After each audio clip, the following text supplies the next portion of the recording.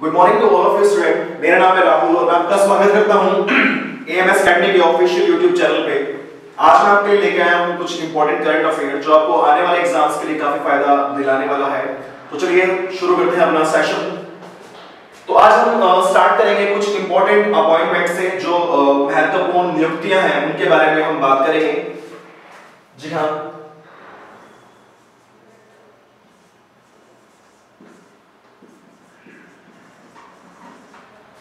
Saurabh Kumar.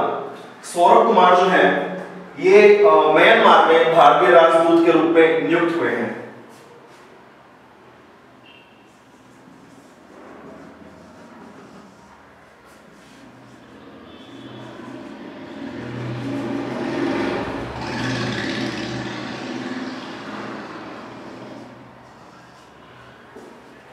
Saurabh Kumar Myanmar में भारतीय राजदूत के रूप में नियुक्त हुए हैं और उसके बाद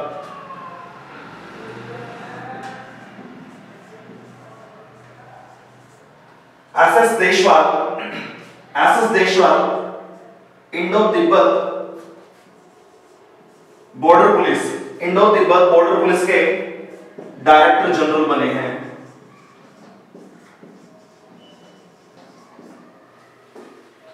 S S Deswal Indo Tibet border police के डायरेक्टर जनरल यानी प्रबंध निदेशक बने हैं ये। उसके बाद है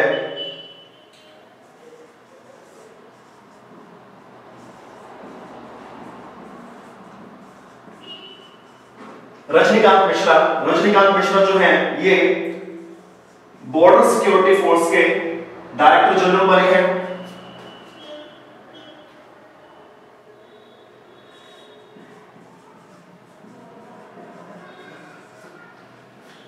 अरुण कुमार जो है ये रेलवे पुलिस फोर्स के डायरेक्टर जनरल बने हैं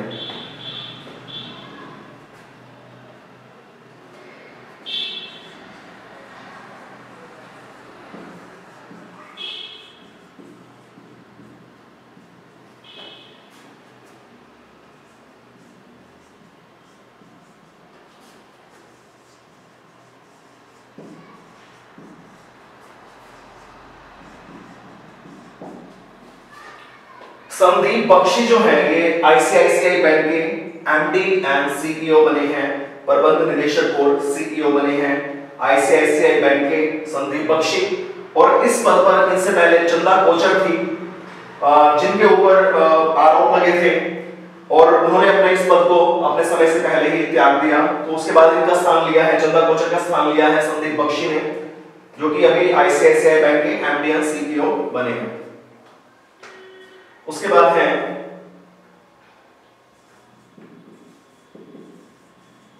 N R Ravi N R Ravi जो है, ये बने हैं deputy national security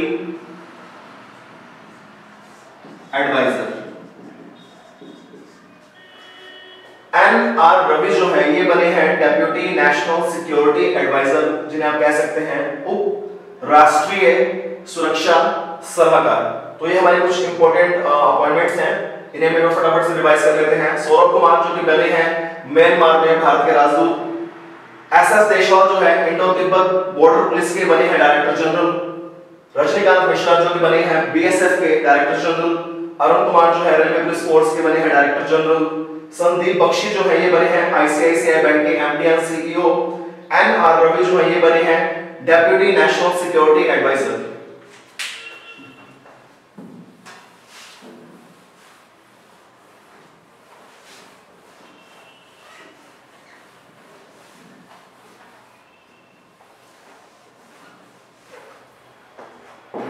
थोड़ा सा मैं आपसे बारे में और भी डिस्कस करना चाहूँगा। जैसे national security advisor deputy national security advisor है एनआर रवि तो इसी तरह से हमारे नेशनल सिक्योरिटी एडवाइजर हैं अजीत डोभाल।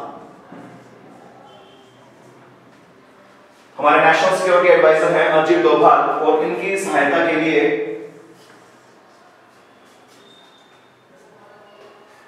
इनकी सहायता के लिए national deputy national security advisor रखे हुए हैं, जो कि एन आर रवि हैं, जो अभी अपॉइंट हुए हैं। और इसी तरह से एक और डेप्यूटी नेशनल सिक्योरिटी एडवाइजर है, जिनका नाम है पंकज सरन। और इसी तरह तीसरे हैं राजेंद्र खन्ना। तीसरे हैं राजेंद्र खन्ना। एन रवि जो है, ये अभी न्यूली अपॉइंटेड है। अक्टूबर 2018 में हुए हैं। पंकज सरन जो है, इस पद पे आए थे मई 2018 में। और राजेंद्र खन्ना जो है, ये इस पद पर आए थे जनवरी 2018 में, जनवरी 2018 में। पंकज सरन जो है, ये रूस में रूस में भारत के राजदूत के रूप में कार्यरत हैं। राजेंद्र खन्ना जो है, ये एक फॉर्मर रो हेड रह चुके हैं। राजेंद्र खन्ना जो है, एक भूतपूर्व रो अध्यक्ष रह चुके हैं। रो stands for research analysis wing जो कि एक एजेंसी होती है, उसके हेड रह चुके हैं राजेंद्र खन्ना। चलिए आगे चलते हैं।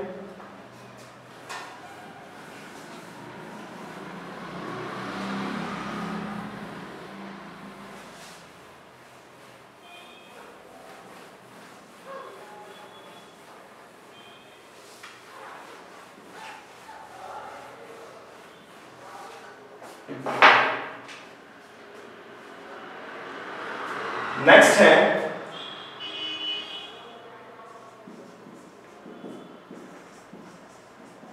सुशील मेहता सुशील मेहता बने हैं।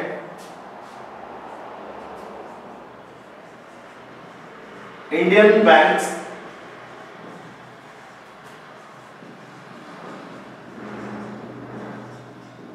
एसोसिएशन के चेयरपर्सन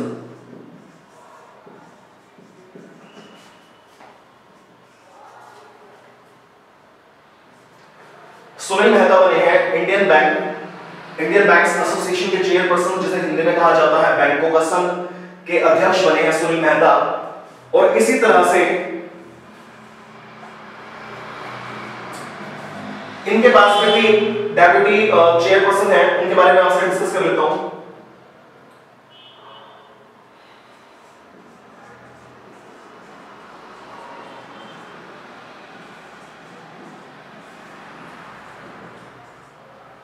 दीन बंधु मोहपात्रा, ये भी डेप्यूटी चेयरपर्सन है, जो कि अभी अपॉइंट हुए हैं। दीन बंधु मोहपात्रा डेप्यूटी चेयरपर्सन उपाध्यक्ष जिसे कह सकते हो आप। उसके बाद इसी पद पर डेप्यूटी चेयरपर्सन के पद पर भी एक और पर्सन है जो कार्यरत है, दो और पर्सन है, जिनका नाम है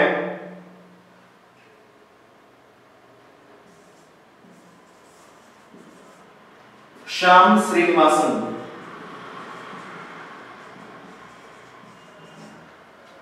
श्याम श्रीनिवासन और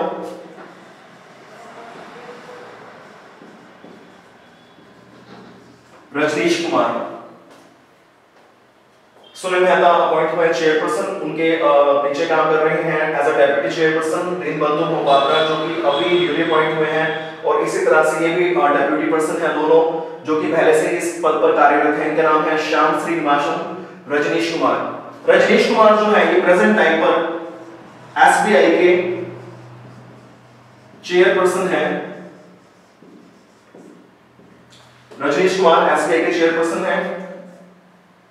और श्याम श्रीनिवासन जो है, ये है M D and CEO of federal bank federal bank के एमडी एंड सीईओ है प्रेजेंट टाइम पे श्याम श्रीनिवासन दीनबंधु मोहपात्र दीनबंधु मोहपात्र जो है, ये प्रेजेंट टाइम पे एमडी एंड सीईओ है of bank of India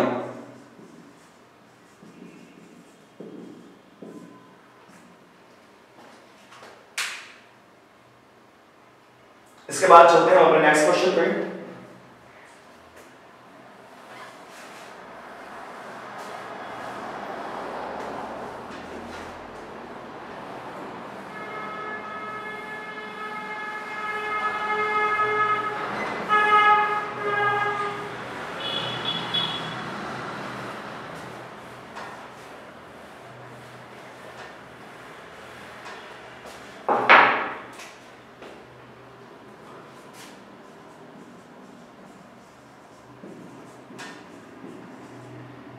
Tushar Mehta.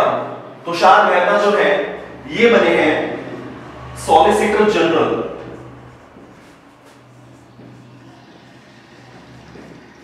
Tushar Mehta बने हैं सॉलिसिटर जनरल सॉलिसिटर जनरल कौन सा पद होता है? आपने सुना भी होगा अटॉर्नी जनरल अटॉर्नी जनरल जो होता है, वो भारत का, यानी कि भारत सरकार जो है, जो केंद्र सरकार है, उसका वकील होता है, जो सरकार का सरकार का पक्ष रखता है मामलों में। उसे बोलते हैं अटॉर्नी जनरल जो प्रेजेंट टाइम पे है, के के वेणुगोपाल तो उन्हीं की सहायता के लिए ये पद बनाया होता है, जिसे कहते हैं सॉलिसिटर जनरल और ये पद अभी मिला है तुषार मेहता को। इन्होंने अक्टूबर के अंदर इस पद पर अपना ज्वाइन किया है। इससे पहले थे राजेंद्र कुमार थे इस पद पे। तो 2017 के अंदर, अक्टूबर 2017 में वो इस पद से उन्होंने किसी व्यक्तिगत कारण से इस्तीफा दे दिया था, एक साल से पद खाली था। तो अभी इस पद पर आए हैं Tushar Mehta as a solicitor general तो बात करते हैं अपने नेक्स्ट क्वेश्चन की।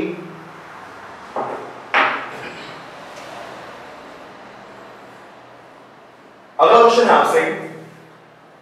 त्रिपुरा के अंदर त्रिपुरा के जो दो आतंकी संगठन हैं, जिन पर लगे हुए प्रतिबंध की अवधि को बढ़ा दिया गया है, उनका नाम बताइए। जी हाँ त्रिपुरा के उन दो आतंकी संगठनों का नाम बताएँ, जिन पर लगे हुए प्रतिबंध की अवधि को बढ़ा दिया गया है।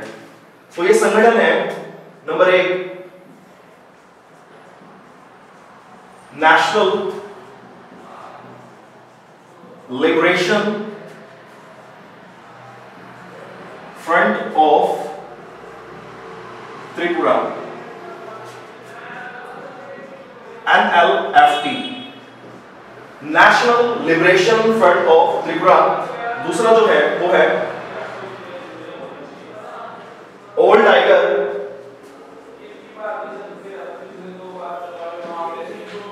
त्रिपुरा फोर्स दूसरा जो आतंकी संगठन है, इसका नाम है ओल्ड टाइगर त्रिपुरा फोर्स जिसे कह सकते हो आप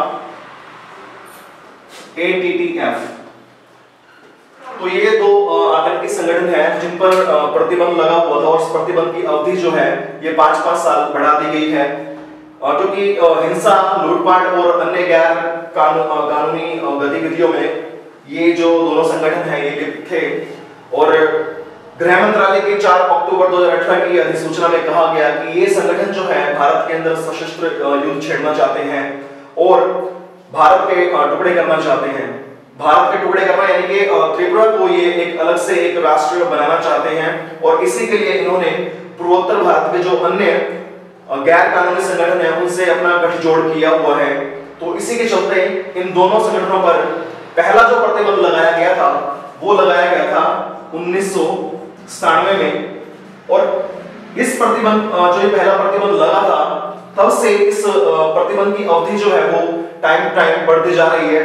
और अभी 2018 के अंदर, अक्टूबर 2018 में इस प्रतिबंध की अवधि को पाँच पाँच साल और बढ़ा दिया गया है। आपके नॉलेज के लिए बता देता हूँ कि ये जो दोनों आतंकी संगठन हैं, इनकी स्थापना 1990 में हुई थी। इन दोनों संगठनों की स्थापना 1990 में हुई थी और वो किस उद्देश्य से हुई थी?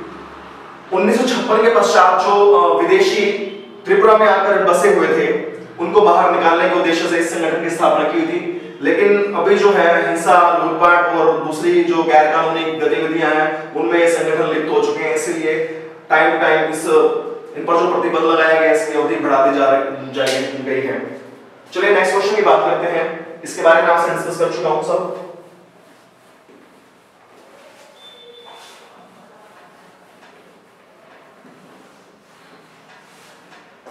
नेक्स्ट क्वेश्चन है। सरफेस टू सरफेस यानी कि सतह से सतह पर मार करने वाली Prithvi to missile surface to surface मार करने वाली पृथ्वी टू मिसाइल का परीक्षण कब हुआ? पृथ्वी टू, ये मिसाइल जो है, ये है सरफेस टू सरफेस मार करने वाली मिसाइल। और इसकी रेंज जो है, वो है साढ़े तीन सौ किलोमीटर। इसकी जो मार करने की रेंज है, वो है साढ़े तीन सौ किलोमीटर। और इसका जो परीक्षण हुआ है, वो हुआ है 6 अक्टूबर 2018 को। और ये हुआ है उड़ीसा के बालासोर स्थित रेंज से। उड़ीसा के बालासोर स्थित रेंज से इसका परीक्षण हुआ है। और ये जो मिसाइल है ये भारत में ही विकसित की गई है डीआरडीओ के द्वारा और इसका परीक्षण हुआ है 6 अक्टूबर 2018 को। इसका पिछला परीक्षण जो हुआ था पिछला परीक्षण इसका हुआ था 21 फरवरी 2018 को और ये हुआ था चांदीपुर रेंज से।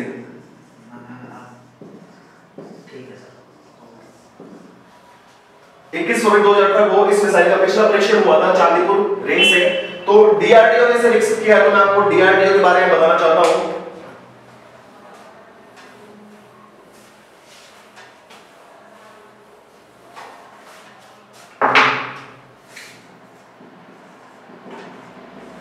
DRDO stands for Defense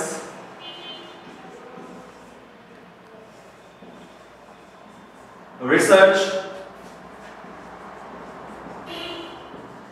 Development Organization. DRDO stands for Defense Research Development Organization, established in 1958 और इसका हेडक्वार्टर है डीआरडीओ भवन के नाम से नई दिल्ली में और प्रेजेंट टाइम पे इसके जो हेड है, उनका नाम है doctor G Reddy doctor G Reddy पूरा नाम इनका डॉक्टर श्रीसत रेड्डी तो चलिए मैंने अपना मैं अपना सेशन खत्म करने जा रहा हूँ। तो अगर आपको मेरा सेशन अच्छा लगा हो तो प्लीज़ इस वीडियो को लाइक ज़रूर करें। मिलते हैं आपसे अगली क्लास में। Thank you